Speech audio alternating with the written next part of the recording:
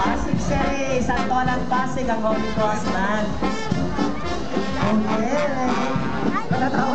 Nasa kalahati na pero. Yes. Ayan. Galing pa kasi si Ferdy sa ano sa. Cross Band. Ferdy mula po to sa Santolan Pasig. Yes, welcome to the city of Mandaluyong, ang mga taga-Pasig na taon-taon ay Taon-taon kasama nakikita. natin yan, Ferdy, ha? Correct. Taon-taon yan.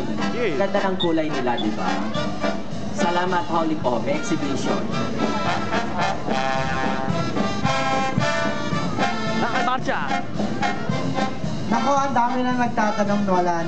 Paano daw sumali sa Nindok Manok? Mamaya ano? Nako, pagkatapos ng parada, stay put lang kayo dyan. Mamimigay na kami ng mga stickers para sa mga sasali sa pabilisan ng pagkain ng manok sa Nicknock Manok Chicken Eating Contest at ang mananalo ay 20 mil. At syempre yung 20,000 concert natin. pesos, ha? Oo, Holy Cross Band ng Santolan Pasig.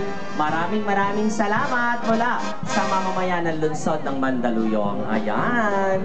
Siyempre, Thank you so much. Nolan, sumusunod naman dito sa ating ah, Holy Cross Band mula sa City of Pasig, ang Division of City Schools.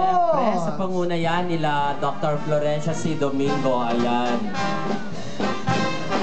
At syempre yung banda natin, di ba? Ano, ano ba yung banda natin, Ma'am Ya Freddy? Ang ating banda para sa ating ah, Liberation ah, concert, ang back-to-back-to-back na ang H1 Rocksteady of Mr. Rex Ato at the Division